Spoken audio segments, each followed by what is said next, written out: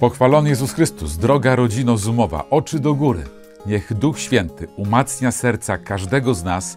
Stąp Duchu Święty, czyń nasze życie pełnym ducha, pełnym Twojej obecności, pełnym ognia. Ewangelia dzisiaj jest bardzo trudna do przyjęcia i niewielu z nas ją przyjmuje. A mianowicie, Jezus mówi po przypowieści o zabłąkanej jednej owcy, 99, które mm, nie zabłąkały. Jezus mówi tak: Tak samo w niebie większa będzie radość z jednego grzesznika, który się nawraca, niż z 99 sprawiedliwych, którzy nie potrzebują nawrócenia.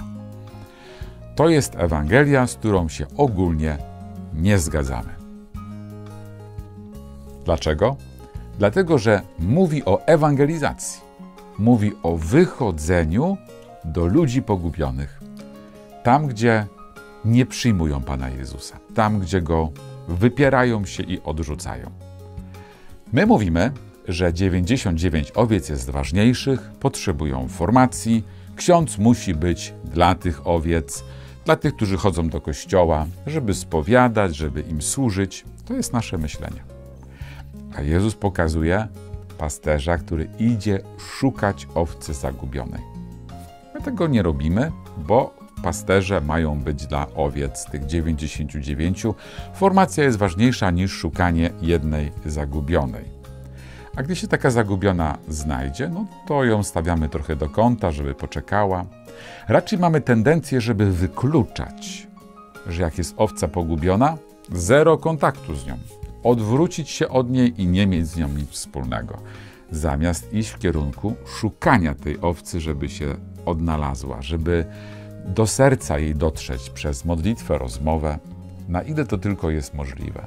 Ewangelizacja to jest niebo się cieszy, tak samo w niebie większa będzie radość z jednego grzesznika, który się nawróci, niż nas we wspólnotach, którzy potrzebujemy na e, formacji. I bardzo dobrze, że jesteśmy we wspólnotach i bardzo dobrze, że jesteśmy wierni Bogu. A jednak Bóg nas woła i zaprasza, żebyśmy głosili Jego królestwo. Znamy takie sytuacje, jak na przykład papież bierze i e, na spotkanie i rozmawia z jakimś tam liderem LGBT albo czegoś innego. I zobaczcie, jakie są wtedy komentarze. Że popiera, że wspiera tę osobę.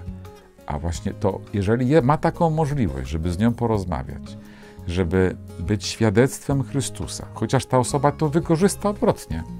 Będzie pokazywała zdjęcia z papieżem, że oto jest przy papieżu, no i, i w takim razie on to popiera. Nie popiera, tylko rozmawia, bo owiec trzeba szukać. I my się tego boimy. Boimy się tych zdjęć, boimy się tego, że on szuka i ma być dla 99, bo jest papieżem przecież Kościoła 99, a ta, dla tamtych ma zamykać drzwi. To jest nasze myślenie. To nie jest myślenie Ewangelii.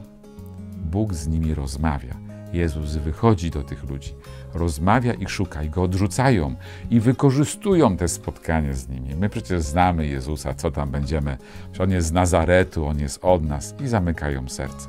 A mimo wszystko Jezus się przełamuje i znowu przełamuje to jest to szukanie jednej pogubionej owcy. Zachęcam do takiej modlitwy o nawracanie się, o to, żebym coraz bardziej rozumiał, co Jezus, o co Jezus woła i że radość nieba jest większa z jednej nawróconej. Błogosławię na przyjmowanie tego pomału, pomału w naszym sercu, żebym ja to przyjął i każdy z nas, tę Ewangelię i tę naukę. W imię Ojca i Syna i Ducha Świętego. Amen. Życzę Wam pięknego dnia. Niech słońce będzie w Waszym sercu, we wszystkim, co robicie. I poniżej zapraszam do modlitwy z mocnymi w duchu.